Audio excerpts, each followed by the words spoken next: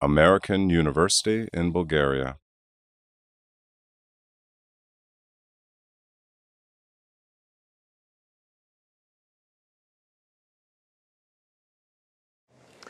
Well, hello everybody. Um, my name's Ken Heather and uh, I teach economics uh, at the University of Portsmouth in uh, southern England.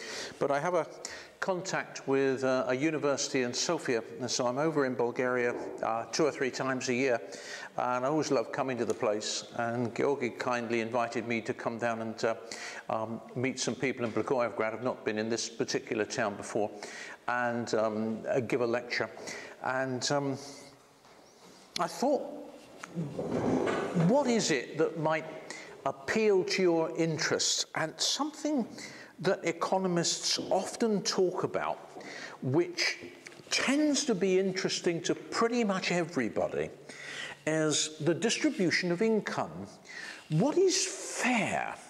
Um, Naomi Campbell and people like her, they walk up and down a catwalk for a few hours a week and get paid $50,000 an hour. And she's not even pretty. And at the same time, you've got loads of people who are struggling on pensions to survive. You've got people working for a minimum wage. And almost everybody you meet, it, they, they, it screams out to them, this is unfair. This isn't right. And, and then they start thinking, well, what, what, what have economists got to say about the way income is distributed in society? Uh, what do economists think is fair and just? Uh, so that's the topic I want to talk to you about. And the way I want to do it is this. I first of all want to think not about what's fair and just, but about um, the way in which income is actually distributed. Just how uneven is it? Um, then when we've done that, we'll think about some reasons why income is so unevenly distributed. What is it that enables Naomi Campbell to get these absurd sums of money? Then I'll think a bit about what governments do to change the distribution of income. And then finally, we'll get round to saying what do economists think is right? When you ask an economist for what's a fair distribution of income, what does he say? So we'll take a while getting there, but if we look at these other things first of all, when we get there, I think we'll have something more powerful to say. So the first thing I want to do is to focus on how income is distributed typically in a market kind of society. And there's an informal way of doing it and then a more formal way. Uh, the informal way that gives you a good sense of, of, of, of how uneven the distribution actually is, is to have a little parade. And so we take a, a typical society like the UK, where I come from, and we're going to give everybody in the UK a height which reflects their income. So if they're averagely well off, they're going to be averagely tall, but the poor people will shrink proportionately.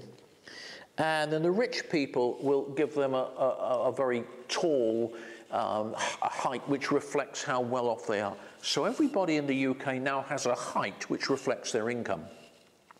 And uh, we're going to line them all up outside of the door, and uh, with the shortest at the front and the tallest at the back. And we're going to have a parade, and they're going to come through the door and out of the window in the space of one hour. And we're going to watch the parade. And what is fairly typical for the UK is going to be reasonably typical for many market kinds of societies. Remember, the short people are at the front. So what happened? Oh, you're not that short, is he? Um, um, so what happens when the parade begins? Um, for the first few minutes, you don't need to open the door. They'll crawl under the crack at the bottom.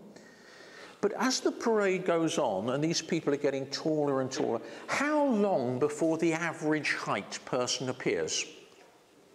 In the UK, it's 49 minutes. And you think, how can, how can it take so long when you've only got an hour? Uh, because there's a relatively small number of people at the back of the parade who are 200, 500, 1,000 kilometers high who can't even get their heel through the door. So, little bit of elementary statistics, what that means is that if you come to the UK and earn a mean average salary, you're going to be better off than over three quarters of the population because the distribution of income is so skewed. Now, that's a very informal way. There's, a, there's a, a, much more formal way of looking at the distribution of income, which is quite helpful uh, when you want to make comparisons between societies. Uh, and it's called the Gini coefficient. And I'll just show you quickly how the Gini coefficient is measured um, because it's quite useful. And it's very simple. What you do is you, you draw a square box. And uh, along here, you plot the percentage of the population from zero to 100%. But it's cumulative. So it's from the poorest to the richest. So this 10% spot means the poorest 10%. And this spot here means the poorest 50%. So it's them plus the next lot. And this lot here, the poorest 90%, is everybody except the richest 10%. And then up here, you plot the percentage of the income from zero to 100%.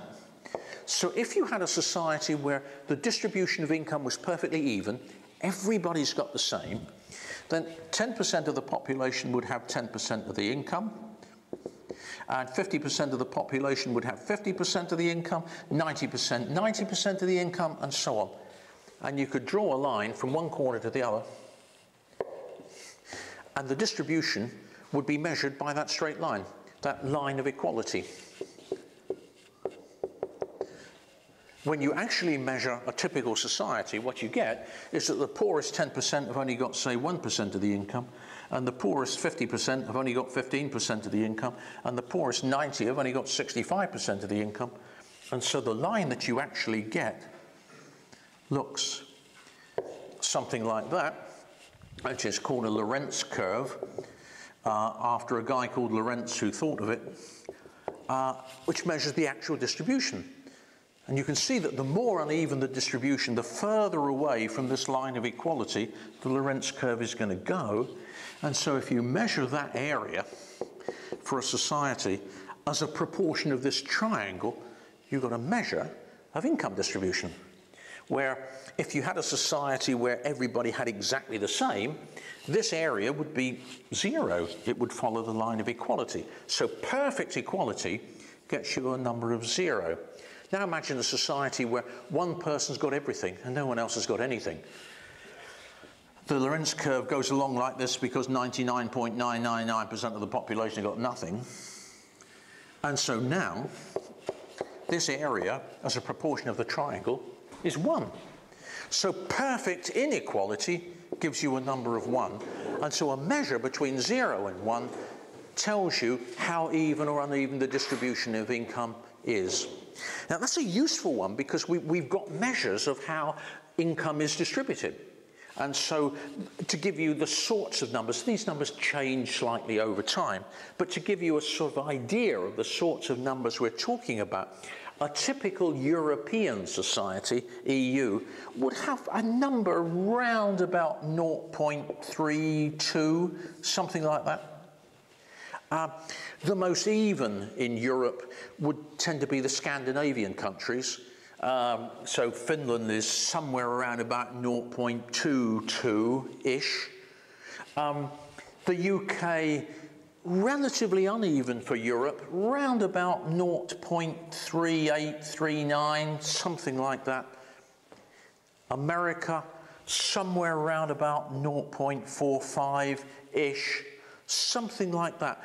So that gives you a sense of the way in which income distribution varies between countries, with the Finns somewhere near the top.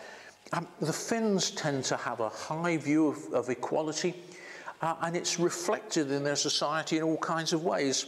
Uh, even fines for breaking the law. Fines in the UK, if you, if you break the speeding limit and you get caught, uh, they charge you 60 pounds or 100 pounds. In Finland, they charge you a proportion of your income. A few years ago, there was a guy uh, who was going through Helsinki and uh, on his motorbike uh, in a 40 kilometer area, and uh, he was doing something like 46 kilometers.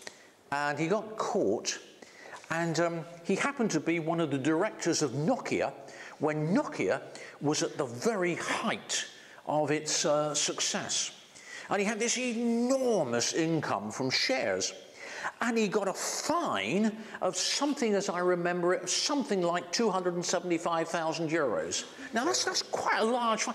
But see, if you have a society which believes in equality, that's the kind of thing that you get. Uh, these numbers change over time. One of the biggest changes which has taken place in the last uh, 30 years or so has been in former communist societies in Eastern Europe, where before the fall of communism in uh, around about the 90s, the sorts of numbers that you were talking about was something like the Finns, around about 0.22-ish. Now, in many societies in Eastern Europe, it's somewhere around about 0.4-ish. So these numbers change over time, but it, it, enables you to make comparisons and say how even or uneven uh, is the distribution of income. So that just gives you a general sense of the situation as it is. Uh, next thing I want to think about for a while is to ask why, why is it like that? We're still not thinking about what's right and fair, we're just thinking about uh, what's the explanation for these distributions? What makes the distribution of income uneven? Uh, there's a number of things which are key to understanding this. And the first one is it's like it because of the distribution of wealth. Now, wealth and income are not the same thing. Are we all clear about what the distinction is? Income is a flow, it's so much per period of time. Wealth is a stock, it's an amount, it's your assets. I work for the University of Portsmouth, and um, they pay me a salary of um, about a million pounds a year, and that is my income. It's so much per period of time. They pay me so much, I don't know what to do with it all. So I put lots of it in the bank, and I've got about 12 million pounds sitting in the bank. That's not my income, that's my wealth. It's a stock, it's an amount independent of the question of time. And when you look at the distribution of wealth in society, it's much more uneven than the distribution of income. Uh, sorry if I use the UK as, as an example, but I know more about the UK. Um, when you think about the distribution of wealth in the UK, what things constitute wealth for most people? Uh, the obvious things are a house, you own a house that you live in, uh, and the other is um, shares in companies, stocks and shares and so on. Over half the people in the UK don't own any stocks and shares, don't own their own house. They have zero wealth. So wealth is very concentrated in the hands of a relatively small number of people.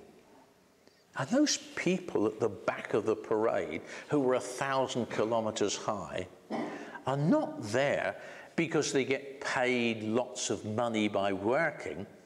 They get huge incomes from their ownership of wealth, land and, and uh, shares and so on. So the uneven wealth distribution tends to lead to an uneven income distribution. But of all the income that people get, something of the order of 70% of it comes from labour, wages and salaries, people working for it. So we have to think about why some kinds of labour get paid much more than others. It's the differences in wage rates which are an important part of explaining the uneven distribution of income. So we could ask the question why does a doctor get paid so much more than a gardener?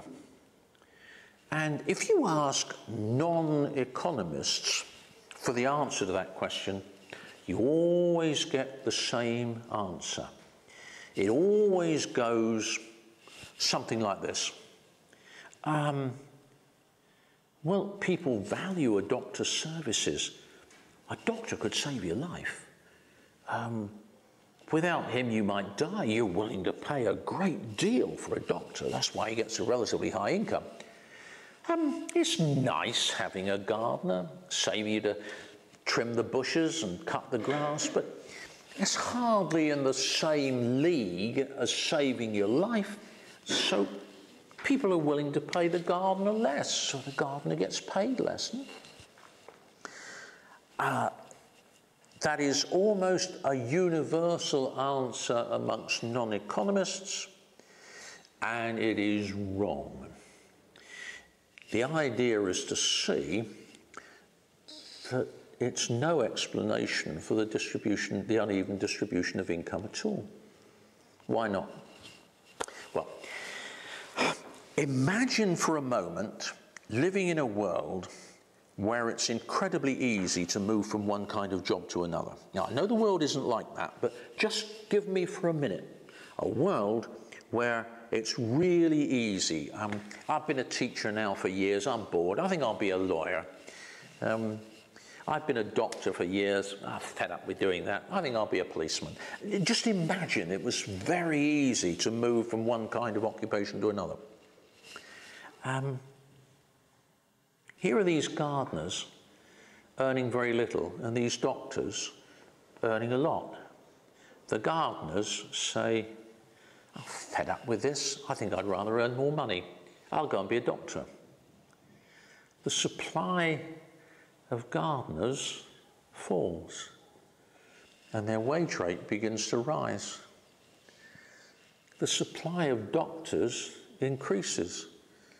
And just like the supply of tomatoes increasing depresses the price of tomatoes, so increasing the supply of doctors depresses the price of doctor services, the wage rate. And the wage rates of doctors begin to fall. And the process goes on until everybody is earning pretty much the same wage rate. The fact that people value doctor services more simply means that we have more doctors and fewer gardeners. It doesn't explain differences in the wage rate. So when you ask, why is the wage rate different? The essence is to see it's in the immobility of labour. It's in the things which make it difficult for people to transfer from one kind of occupation to another.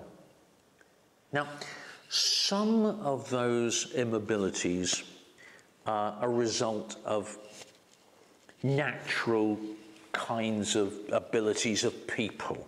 Um, I have no head for heights. Um, and I look at these guys who are steeplejacks, you know, and, and, and people who wash windows um, 40 or 50 stories high and so on. And I think no amount of income in the world would persuade me to do that because I, I, I, I, I, get nervous standing on thick carpet. So the idea of being up there is, is just terrifying. Um, a few years ago, we made a film. I, I spent quite a lot of time making films and uh, for, uh, for, economic ideas. And um, we uh, wanted a film in, in, in, Poland, and we wanted a film in Krakow and places about the, their pollution problems. And um, I was with a guy, friend William, who makes films, and he, he has no fear of heights at all. And um, we got permission to film in um, an observatory uh, for the university. And so this is not where the public can go at all. Um, so, and it's 36 stories up. And uh, we get to the building, and I say to William, "Yeah, you, you, you, you carry on and, and get the pictures over the town. I'll just sit in the car for half an hour. I'll be here when you come back." He said, "No, no, no, no. You, you need to come up with me." I said, "No." He said, "Come on, you got to." So, so we got 36 stories up. And, and, and, we go out on the top of the building, and, and it, uh, to me, it feels so high that you're amongst the stars. I'm, I'm terrified. And there's a pole as you go out onto the balcony there. There's a pole, and I'm wrapping my arms around the pole. And I'm watching William, and because it's not for the public, the, the, the roof rail is, is down here somewhere. And he's running about with this camera within, within half a metre of the edge. And he's, and I'm, I'm absolutely terrified. And uh, he said, I think you should do a piece to camera now, Ken. And I said, yeah, sure. And, uh, carry on. What do you want me to say? he said, no, no, no, you've got to come out on the roof. And, and I'm standing on the roof and I'm, I'm trying to look calm and talk about pollution and externalities. And my knees are shaking. I'm terrified. And, and, and, as soon as I've done my bit, I just ran to the pole and I sort of wrapped my arms around the pole again. No, now those are clear differences in, in abilities which help to explain immobility. But in a market society, a significant part of immobility comes because of the power of people to prevent mobility. Again, I'm, I'm, not sure about here, but in the UK, you take the accounting profession, and um, the accounting profession has conned the government that um, they're so concerned for high standards that um, you can only be an accountant if you've passed the exams of the professional accounting bodies. And they fail half the people that take the exams. And you ask the accountants why, and they say, got to keep standards up, you know. It's got nothing to do with keeping standards up. It's reducing the supply of labour, because if you reduce the supply of labour, the wage rate is higher. It's a deliberate attempt to create immobility of labour. And that's not just true of accountants, it's true of lawyers as well. These are imperfections in the market system which prevent mobilities and help to maintain these high kinds of numbers of immobility of labour. One other thing about an explanation of why we have these um, sorts of numbers. It's partly to do with the distribution of wealth. It's partly to do with immobility of labour. And it's partly to do with the fact that some people are unemployed. The people at the front of the parade are not there by and large because they earn low incomes. They're there because they don't earn any income at all. They're unemployed. 55% of Spanish people under 25 are unemployed at the moment. And that's a significant effect on the distribution of income. The people at the front of the parade are there because they have no income because they're unemployed. And some of them are there because they're unemployable. You know. In a market society, in a pure market society, the income you receive reflects the value of the output that you produce, right? Get a job when you leave here in a couple of years' time, and you get a job on 100,000 levs a year or something. Why are they going to pay you that much? They're only going to pay you that much if you produce that much worth of output for the company. They're going to pay you that for producing 10,000 levs a year. The company would be bankrupt within weeks. You get an income which reflects the value of the output that you produce. Of course you do. So in a pure market society, the guy who was severely disabled is capable of producing nothing. So, what income does he get in a market system? Nothing.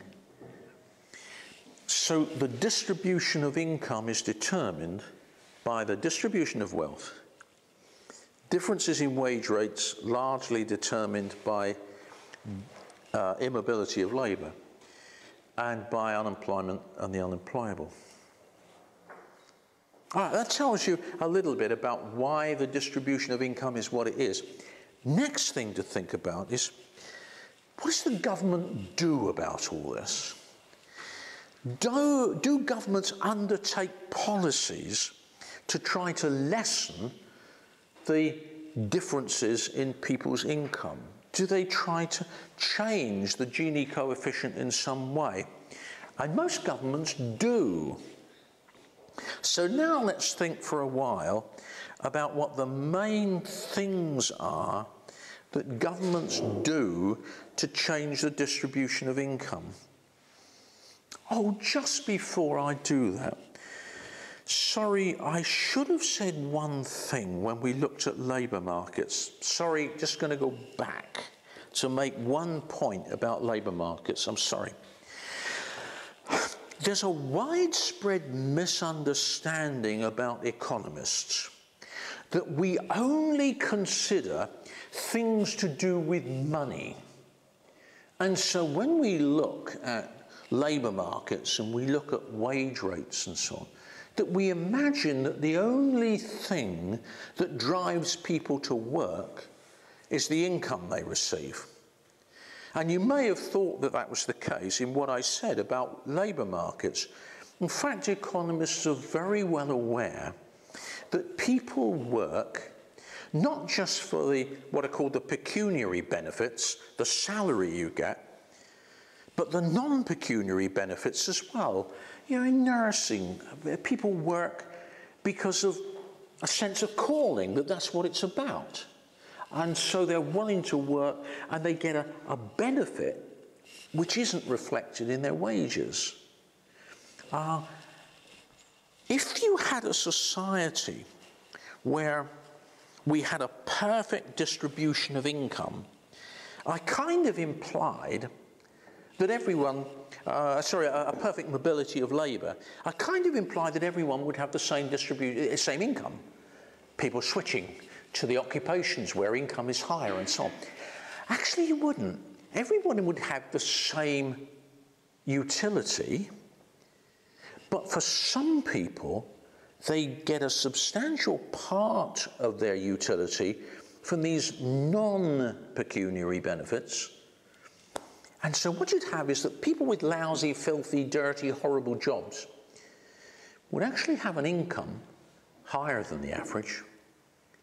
And the people with the nice, pleasant jobs like mine, teaching, would actually have a lower than average income. And we'd make up the difference in the non pecuniary benefits. Yeah.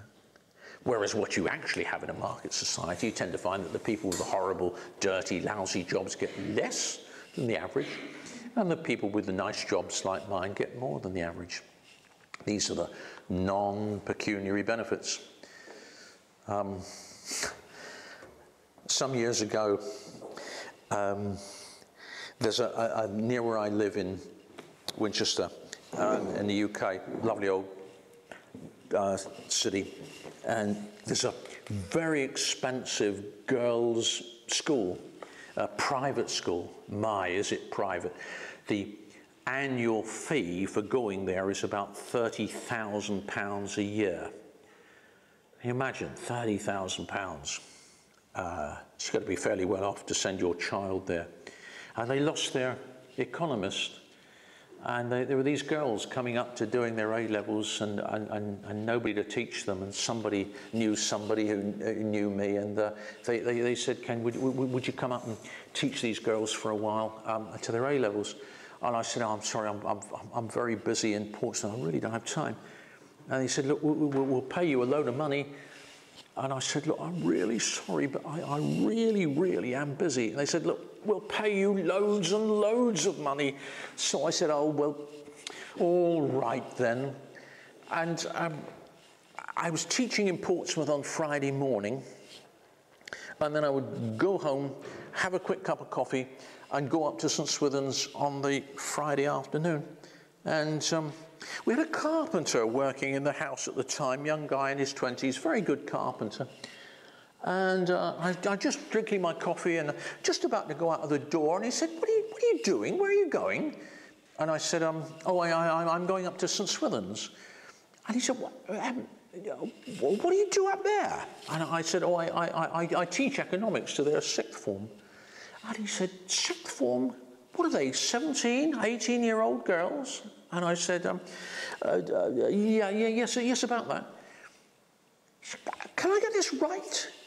You're going to spend the afternoon sitting down chatting to a bunch of 18 year old girls. And I said, um, um, uh, Yes, yes. He said, Are they going to pay you for that? And I said, um, um, Yes, they are. I've never forgotten the look on his face. And he said, Men would kill for a job like that. That's what I mean by non pecuniary benefits. Um, aside from those, we'd all finish up with the same wage rate if we had perfect mobility of labour. Okay, so third of our four things to consider now is what do governments actually do to try to redistribute income towards equality? And there's a number of things to think through. Some of them are fairly obvious, some of them are less so.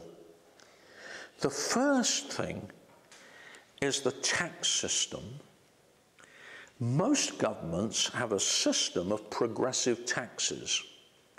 And a progressive tax means that as your income rises, you pay a higher proportion of it to the government in tax.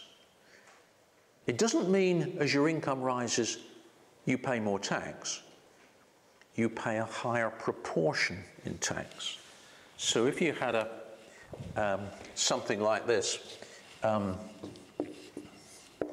an income of um, 10,000, whatever it is, levs or whatever. And um, the tax was 1,000. You're paying 10% of your income to the government.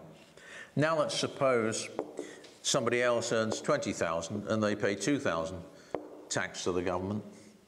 That is to say they spend, they pay 10% of it. That's not going to redistribute income.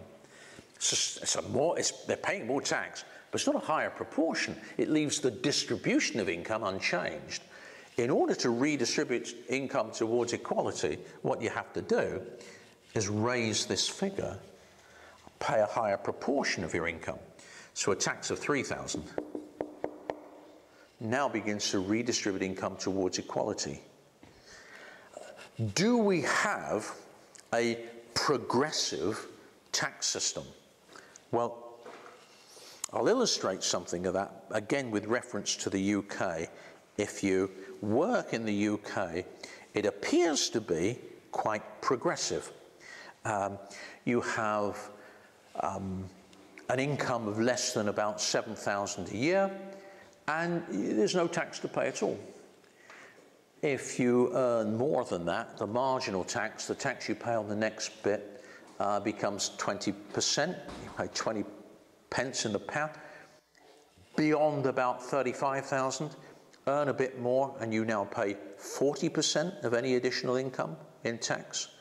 And beyond some number, which is vastly more than anything I'll ever earn, uh, you earn an extra pound, you pay 45%. So there's a rising marginal tax rate, which means that you have a progressive tax system.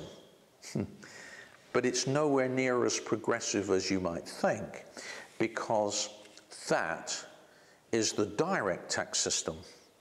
When you look at indirect taxes, value added tax, for example, value added tax does the opposite. It's a regressive tax. Um, and it may not be obvious why it's regressive, but think about it like this. If you're in the UK and you drive into a petrol station and you fill up your car with petrol, it'll probably cost you about 80 pounds. Petrol's very expensive. And of that 80 pounds, something like 50 pounds of it, over 50 pounds, is tax. The enormous proportion of what you pay is your gift to the government in the form of tax. And your instinct is to think it doesn't matter whether I'm rich or poor, I pay the same tax, I pay 50 pounds. Yes, but the proportion of your income that you pay in tax is much greater if you're poorer than if you're much richer. So the tax is regressive. Now, when you look at the effect of the overall tax system, direct and indirect tax, it's progressive, but very mildly so. It doesn't do a lot to change the distribution of income. So that's the first way in which governments try to redistribute income. They do it through a rising tax rate. Second uh, way in which they do it is benefits. Uh, and uh, in many societies, I guess, like the UK, if you've got children and, and you come from a poor home, the, the kids can have free school meals. Um, if they don't, they don't get the free school meals. So those benefits are an attempt to redistribute income by trying to help lower income groups in, in various ways. The third way in which governments help lower income groups is slightly less obvious, and that is that when they provide benefits at the point of use, it redistributes income towards equality. So in the UK, we have a National Health Service. And um, if you break your leg, um, you can get it mended and you don't pay for it. Our society has to pay for it, but it comes out of general taxation. And so if you have a progressive rate of tax, it's the higher income groups that's paying a bit more, and the lower income groups gain relatively more because they don't pay at the point of use. Education, free school education. You don't pay at the point of use. So you send your ch children to school, that's free. Somebody's got to pay for it. Paid for by the state, that is to say by general taxation. But if taxation is paid for more by higher income groups, it's a way of redistributing income to lower income groups. Okay? I think it does it less than most people realize. Um, I'll give you a few examples to show you why. Uh, take education. In the UK, you could drive up a road and find that there are two houses which are identical in every way, except one's on one side of the road and one's on the other. And the one on this side of the road is £20,000 more than the one on this side of the road. How do you think, what's going on? It turns out that the one on this side of the road is in a catchment area with a very good school. And the one on this side of the road is in a catchment area with a pretty poor school. So what's happening? The higher income groups are forcing up the prices of houses on this side of the road because they want their kids in the better school. They use their income to get the school that they want. So the best state schools tend to finish up in the hands of the places, tend to finish up in the hands of the people with the higher income. Is that true of uh, medical care? I think it's partly true of medical care as well. People from higher socioeconomic groups know how to use the system and get more than their share of healthcare benefits. A few years ago, a friend of mine was really quite unwell. I went to visit him and he, he was really quite unwell. Lovely guy, Derek, um, not very bright. Went in to see him and uh, he looks in a mess and his nose is streaming and his eyes are red and he looked dreadful. And I said, Derek, why don't you ring up the doctor and get an appointment? We've got, a, we've got a national health system. He doesn't have to pay. She'll ring up and get an appointment. And he said, Oh, I tried that. I rang up and, and they said, um, The doctor hasn't got any free appointments until next Tuesday. And I thought, Well, by next Tuesday, I'll be better or I'll be dead. What's the point? So he didn't consume any healthcare resources. Now, a few days later, I was feeling dreadful. Maybe I caught it off of him, but my nose is running and my eyes are red and I'm feeling gen- generally dreadful. But I come from a higher socio-economic group than Derek. I know how to use the system. So I rang the doctor and said, I'd like, I'd, I'd like to see the doctor, please. And I got the same kind of answer. And she said, um, the receptionist said, uh, Yes, certainly, you can see the doctor next Tuesday or whatever. And I said, um, no, no, no, I'm not ill next Tuesday. I'm ill now. I'd like to see the doctor now. And she said, Well, I'm sorry, but the doctor's um, got a full appointments list. I'm, I'm sorry, there are just no appointments available until next Tuesday. So I said, I'm, well, I, am terribly sorry, and I fully understand. And, um, you know, if, if, if, you could, if you could live with my death on your conscience, well, then of course I fully understand. And she said, oh, uh, look, is this very serious? Um, perhaps you better describe the symptoms to me. So I said, um, yes, doctor, um, I've, got, I've got this. I'm sorry, you're, you're not a doctor? C- can I just get this right? You have no medical qualifications whatsoever, and you're prepared to make a diagnosis of my medical condition over the phone. Have we, have we got this right? And this conversation went on for five minutes, and at the end of it, she said, Look, I think you'd better come and see the doctor this afternoon. If you know how to use the system because you're from a higher socioeconomic group, you consume more healthcare resources than a person from the lower socioeconomic group. So, yes, such a policy does tend to redistribute income towards equality, but not as much as you might imagine. And then the last one, a policy of redistributing income. It's a very controversial one. Um, the minimum wage. The government wants to redistribute income and it hasn't got any money to do it. Get the employers to pay. Raise the minimum wage, make them pay a higher wage rate. That'll help, won't it? Well, some economists have said actually it might not if you raise the minimum wage, employers that would have been willing to pay the lower wage can't afford to pay the higher wage, and this guy becomes unemployed. They sack him. Now, what you've done is put this guy at the front of the parade, and you've worsened the distribution of income by creating more unemployment. Uh, the reason why that's controversial is that there have been quite a lo lot of studies in the last year or so suggesting that the effect of raising the minimum wage in the sorts of levels that we're talking about at the moment has had very little effect on unemployment. So it's a controversial issue, but there's no certainty that a minimum wage helps in the distribution of income. Okay, so now having thought through some of those issues, we're ready to say what do economists really think is the right, the fair distribution of income? What ought it to look like? And if you speak to most economists and ask them that, the answer you're likely to get is this. They're likely to say, don't know really, um, your value judgment is as valid as mine. Um, you might think it ought to be more uneven, I less so. What gives me the right to decide? I can't tell you.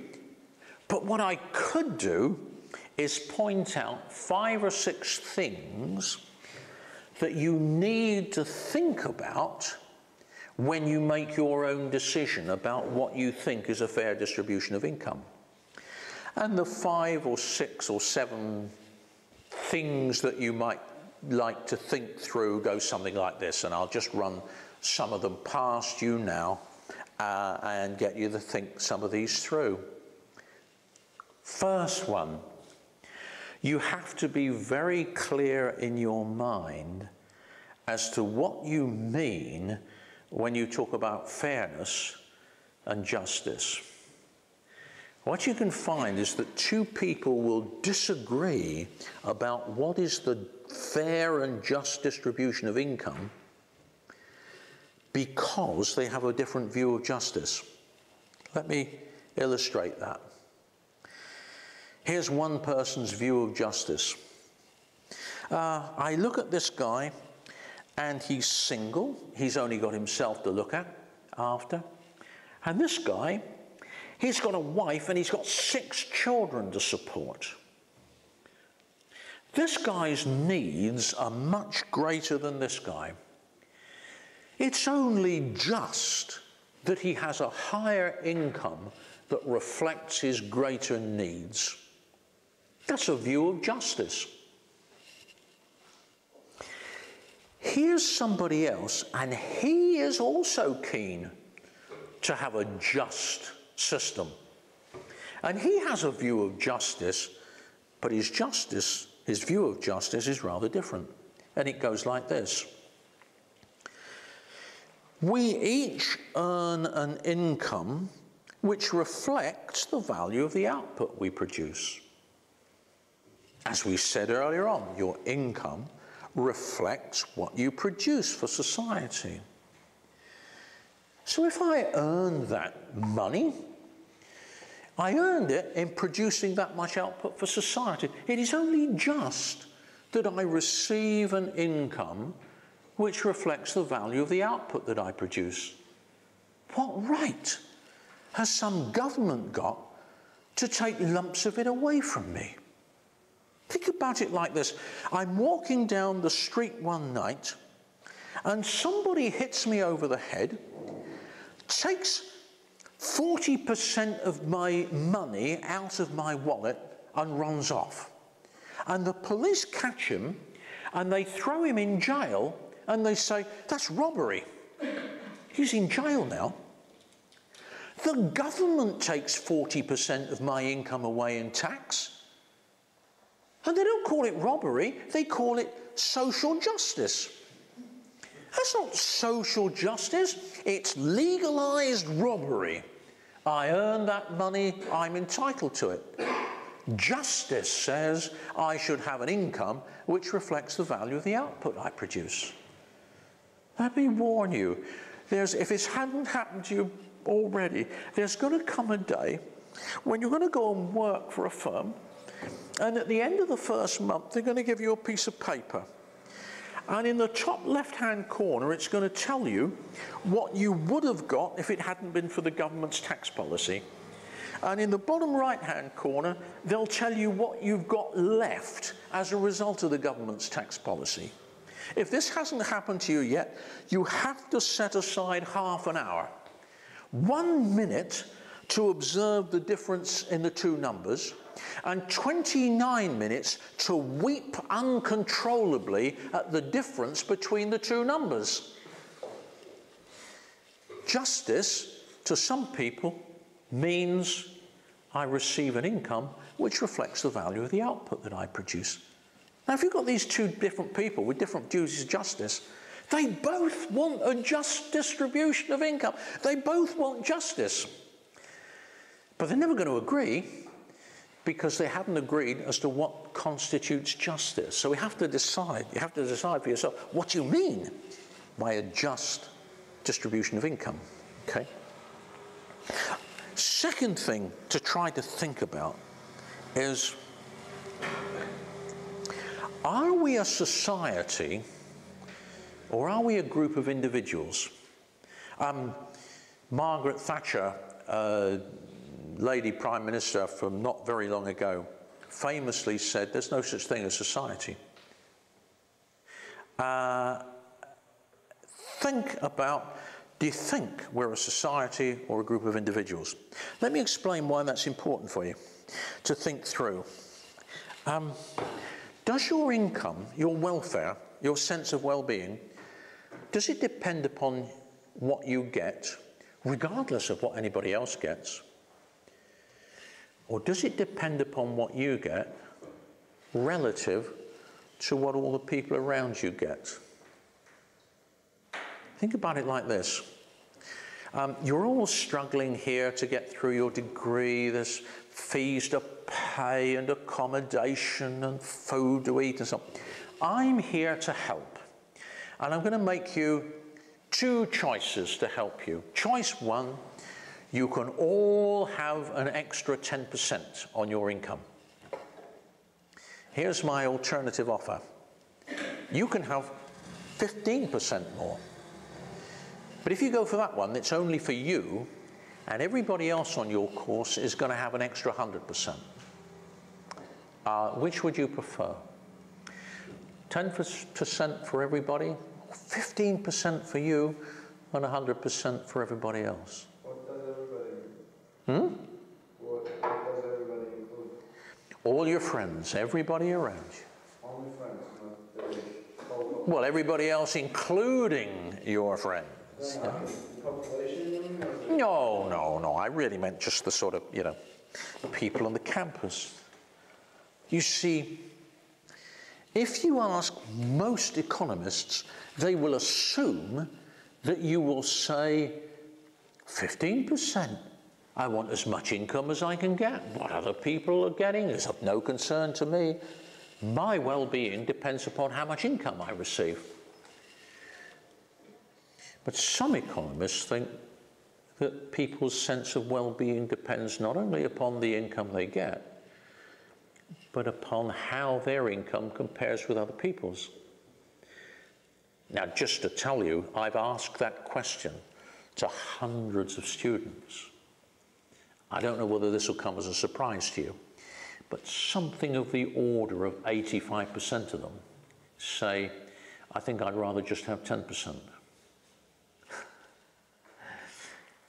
In which case, most of us think that our well being depends not only upon our income, but our income relative to other people.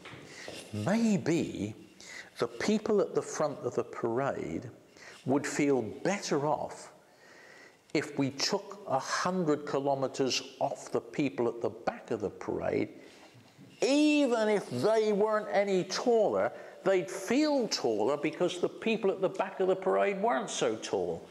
That's the issue you have to think about, yeah? Third thing to think about is do you believe in the concept of a diminishing marginal utility of income? We think that for most goods, the more of the good you have, the happier you are. But the amount that you get from an extra bit, the amount of extra happiness you get, gets less and less. You eat one or two beef burgers and enjoy them, you get one more, and the extra utility you get is getting smaller now because you're fairly full up with the things. And, and economists think that this principle of a diminishing marginal utility has no known exceptions except women buying shoes. Now, some economists will say that whilst it's true of individual goods, it's not true of income. Uh, people always want more income, and there isn't a declining marginal utility of income. If there is, then there's a case for saying we should redistribute income towards equality. Take a pound away from a rich man, uh, it doesn't mean very much to him. Give it to a poor person, it means a great deal to him. If you've got a diminishing marginal utility of income, there is an argument, it may not be an overpowering argument, but it's certainly an argument for redistributing income towards equality, diminishing marginal utility of income.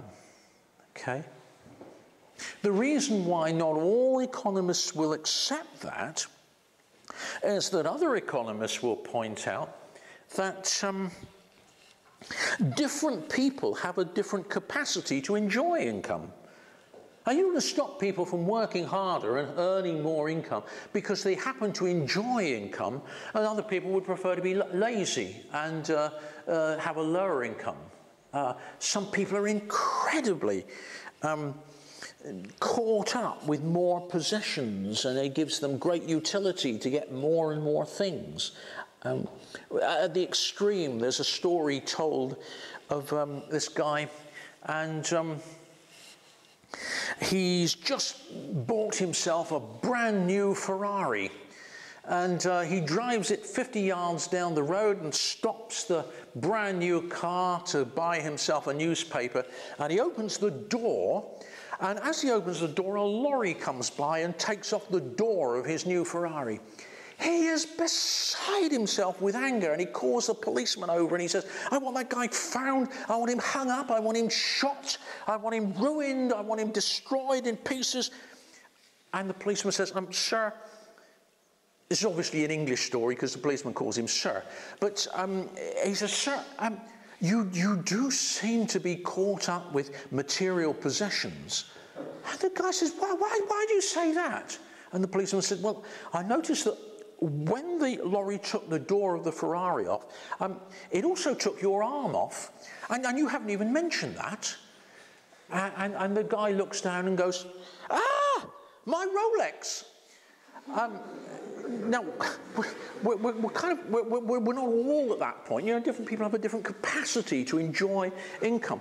Um, so uh, the, the diminishing marginal utility of income thing um, has to be thought through in, in, in that uh, relationship. Um, uh, um, um, oh, gee, I, I, I, stick with it for 10 more minutes. Um, next thing to think about is the problem of incentives. Most of us respond powerfully to incentives. We do things because we've got an incentive to do it. To what extent do you, by raising taxes, destroy people's incentive to work? If you tax people too heavily, to what extent do they say, well, why should I be bothered then? I might as well take leisure. They can't tax my sitting beside the swimming pool doing nothing. And then the most productive members of society produce less output. Less output means we're less, off, less well off and we're all poor. A generation ago in the UK, the top rate of tax, you had to be rich for this to be true, but the top rate of tax was 83%, 83 pence in the pound. Unless you earned a bit extra, not by working for it, but in what they called unearned income, uh, dividends on shares and so on. Then there was a little extra tax of another 15 pence in the pound. So you're very well off, and the uh, company you've got shares in sends you another pound, and the government says that that's 98 pence for us, but you can keep the other 2p all for yourself. And an incoming government said, This is madness. Who's going to put themselves out for that kind of amount? And in one budget, they wiped all the top rates of tax out and the top rate of tax, even on a billionaire earning an extra pound, became only 40%. And those that believe in an even distribution of income are, are appalled, of course, that the rich are now getting richer. But the counter argument was if we don't do that, we're all poorer because we've taken away people's incentives to produce goods and services. So the next thing to think through is the effect of incentives. Um, just very quickly, there's a guy who's famous in the economic literature called Art Laffer. And um, Art used to be an advisor to the president uh, in the States, and he was asked once, would it be a good idea to raise taxes to increase government revenue? And the story goes that Art was in a um, cocktail bar at the time talking to him. And he took this uh, paper napkin and drew a diagram uh, which has become the stuff of legend in economics textbooks. And um, what he drew was along here, you put the tax rate from zero to 100%.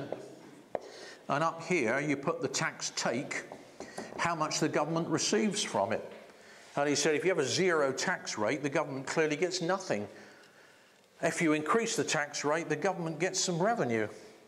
But the disincentive effects are such that people work harder and produce less, and so the government gets less. And there comes a point where increasing the tax rate doesn't include doesn't increase government income, and in fact, after a while, it decreases it. And of course, if you have a hundred percent tax, nobody's got any incentive to do anything, and so the tax take falls to zero. Now, I don't think you can argue with that. There's nothing to argue about. It's got to be true. The thing you can argue about is what's that point? Are we here? So if we increase the tax rate, we make the distribution of income more even and the government gets some more revenue. Or are we here somewhere where we could actually get more government revenue, more output by cutting the tax rate? So there's been a lot of discussion in the literature as to where we are on what's become known as the Laffer curve. Um, um, one more, th- three more things, and then I'll kind of stop. One very interesting idea to think through is we should think not just about the way in which income is distributed, but about how easy it is for people to get out of poverty once they're stuck in it. Think about it like this you look at one moment in time at some society and you look at the poorest 5% and you say, Who are these people? What are the names of these people who are really poor? Now let's look five years on at the poorest 5%. Who are the people? Are they the same ones? Is it the case that once you're stuck in poverty, you're there forever? Or have most of those people got out of poverty and uh, it's somebody different there now? Because there's a strong case for saying if it's different people, you're less worried than if it's the same people. That once you're stuck in it, you've got no chance of getting out of it. And there was a study done a few years ago which found that it was the American society, the ones with a relatively uneven distribution of income, where there were fewer people who were the same as in European society. Maybe what we should be thinking about is not just the distribution of income, but about what system best enables people who are stuck in poverty to get out of it. So we're not just interested in the distribution of income, but the ease with which people can move from relative poverty to relatively well off. Um, there are two more things, uh, and one of them, I can't read my writing. So, just one more and I'll stop. The last thing I want you to think about is whether you think we should focus on the distribution of income or whether we should focus on poverty. And I'll show you in a second that they're not the same thing. You could say, my concern is for the very poor, and I think we need policies that enable us to look after those who are very badly off. Or you could say, I think we should be concerned about the whole distribution of income and how uneven it is. And at first, you might think they're the same question. Now, they're clearly linked. But let me show you that they're not actually quite the same thing. Here are two societies, uh, two societies with, and with magnificent imagination, I'll call them Society A and Society B. And uh, each of these societies has three people in it Miro, Milena, and Mariella.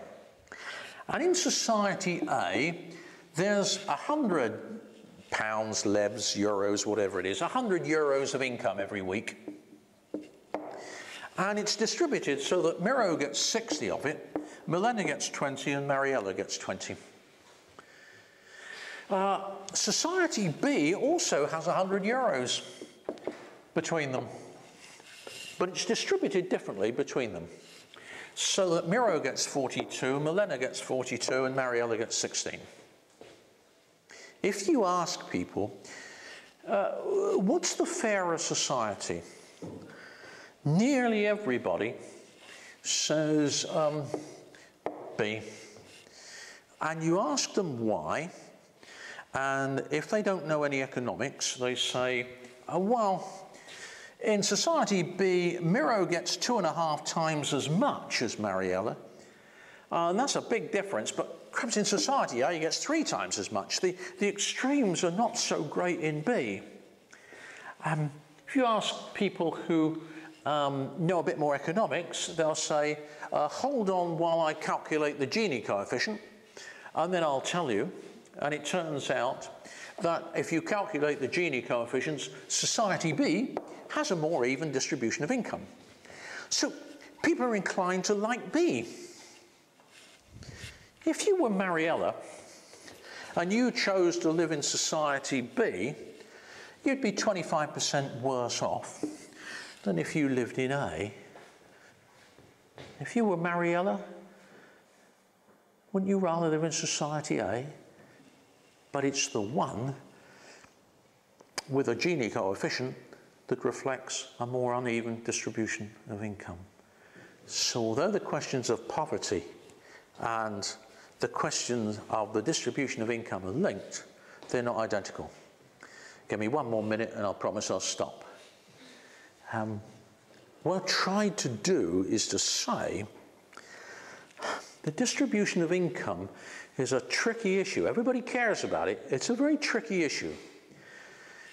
Economists are not in a position to say that's the right one, and every society that departs from that is wrong. We're not in a position to say that. What I think we are in a position to say is we can help you make your own value judgment. And the way to make your own value judgment is to consider all these things plus the one that I haven't told you about because I couldn't read my own writing.